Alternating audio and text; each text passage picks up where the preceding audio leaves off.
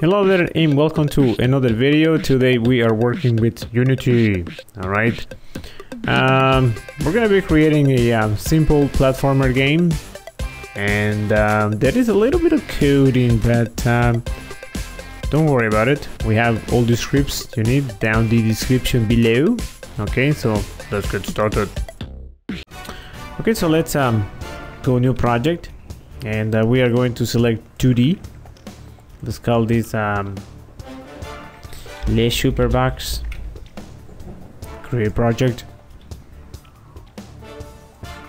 Alright, so here is Unity. Let's uh, begin by inserting a 3D object, a cube. Let's add a component to this. This will be a physics component. And I'm going to add a Rigidbody. And if you run the frame, you'll notice that the cube is going to fall straight down. And that is because now the cube has physics. Alright. Let's add a new component. This will be um, a box collider. Alright. Let me um, add another 3D uh, object. And um, I'm going to hit R to scale this. Alright, let's run this again. And you notice that the box stops at the other box or rectangle. So let's make our character move. Let's uh, insert a new C sharp script. Let's call it um, lip layer. Alright. And I'm going to double click on it to bring out uh, MonoDevelop. And uh, this is the part where we had to enter code. Alright. And uh, luckily for us, in the description below, you can find uh, this code. So I'm going to take these two first uh, variables. Let's paste them over here. And uh, all this is, it's um, two numbers really. Alright, one for the player speed and one for the um, jump height. Alright. Under the um, update, let's bring this uh, up a little bit higher. In between here, we are going to um, paste this code here to make our character move. Transform position. And um, yeah, let's uh, save this. Let's go back to Unity. And if you run this right now, you'll notice that nothing happens. You can't move your character. And uh, the reason is because uh, you need to add the script to the uh, to the box. Okay, so let's add a new um, component under scripts. You notice that we only have the one script here. It's the one we created. All right, let's uh, run this now. And you notice that I can move now, but only in one direction. Let's uh, fix that. And uh, I'm simply going to copy and paste uh, this code here. Switch this to um, left and this to right. Save it. Come back to Unity. And um, now I can move both ways. Let's make the um, box jump.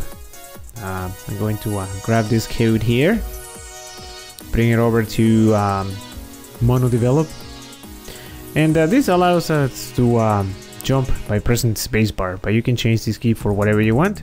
Okay, I'm going to save this and let's return to uh, Unity. Let's try this out and you can see that he jumps just a little too much. Okay.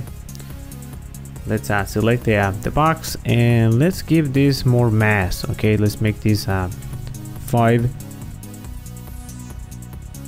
straight out. And uh, he can't jump high enough now.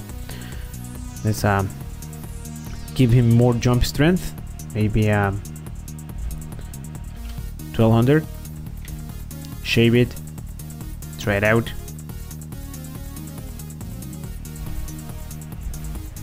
And that is not too bad. Okay. Let's set this to 4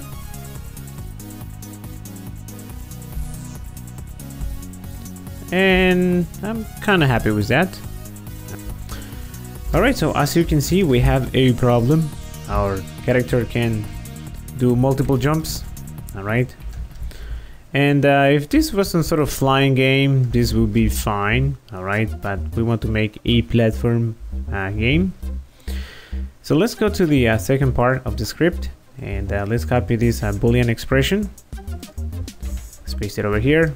And um, all this is is it's an um, on and off switch. Okay, um, true or false.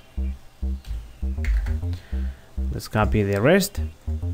And then to check if we are on the ground, we're going to use a raycast. Okay, so um, basically if we are really really close to the ground we are on the ground all right let's scroll down all the ways to where we have to press spacebar and let's um, add a new condition to this if um, grounded um, the condition so now this is only going to happen if we are grounded. Let's um, try out.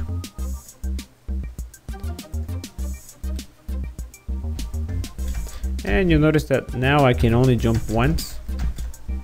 Okay. Alright so let's create um, scrolling. Let's uh, duplicate um, this box here. Duplicate again and one more time. Alright I'm going to select my cube and I'm going to rename it. I'm going to call it um, super cube. Right. And uh, to create scrolling all you have to do is uh, take your uh, main camera and drag it into a super cube. Maybe adjust the um, camera a little bit. Just try it out and you can see that that works right away. Alright so let me show you a um, small problem we have with the camera. And um, yeah our camera turns with our character whenever our character rotates. Okay. And uh, where this is probably a nice effect uh, for something else. It's not gonna work for this uh, for this game. So let's um, uh, freeze a couple of constraints for the box. Let's freeze uh, Y and um, Z for the rotation. Let's try this out. And you can see that the problem has been fixed. Alright so let's um, save this and let's create a respawn position. Let's call this uh, level 1 alright so we're gonna use this code here let's uh, copy this and let's paste it here these two are two uh, variables for a low position and for a respawn point. Alright, uh, let's um, copy this line here, which basically tells Unity to uh, respawn your object if the um, um, if the object position of the box is lower than uh, this object here, which we are going to assign in a second. Let's uh, save this. Just return to Unity. And uh, if you click on your script, you're going to notice that you have two new um, uh, variables all right which we are going to fill out right now but uh, first we need two objects um, as reference let's um, rename these to spawn and uh, another one oops. Let's call this one um, low object. And I'm going to place it somewhere around here okay? Now if you click on your uh, main character or the box you can see that um, you can fill out uh, these two uh, variables with the position of these objects and let's select spawn for spawn oops I actually did it backwards. Low object. And respawn is going to be spawn okay. Now these two here um, I don't know what that is so I'm going to delete that. I'll remove that. All right all right so let's uh, run this. And um, yeah this should be fine let's fall. And we get to respawn. Okay. Let's try it out on the other side. Yeah and it works fine. All right thanks for watching